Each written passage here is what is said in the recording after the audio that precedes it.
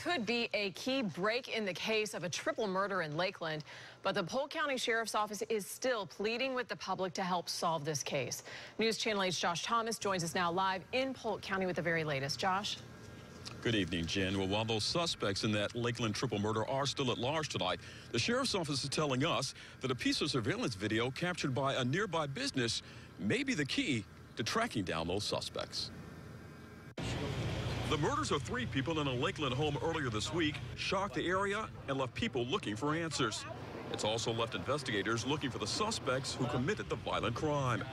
Now, Polk County Sheriff Grady Judd is asking for the public's help in identifying this white van that the suspects may have fled the area in. We have a photograph, a video clip of that van leaving the area of Magnolia Street.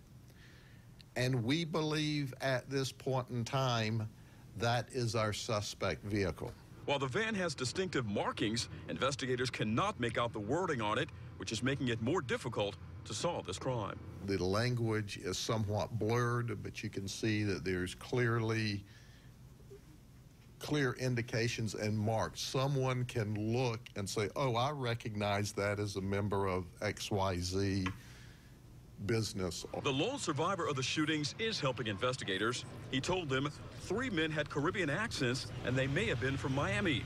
While the sheriff believes the murders may have been drug related, he told the media that's no reason for the victims to have lost their lives. Those two young ladies and that young man didn't deserve to die.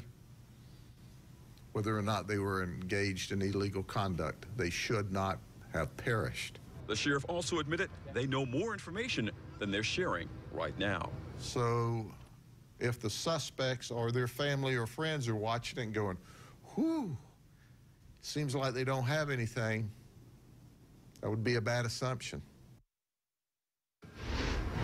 Now, the sheriff's office is determined to solve this case, and once again, it is pleading with the public to provide any information that can help solve this case. We should also let you know that the lone survivor of that shooting is being treated at a local hospital for his injuries, and he's also under the watchful eye of the sheriff's office.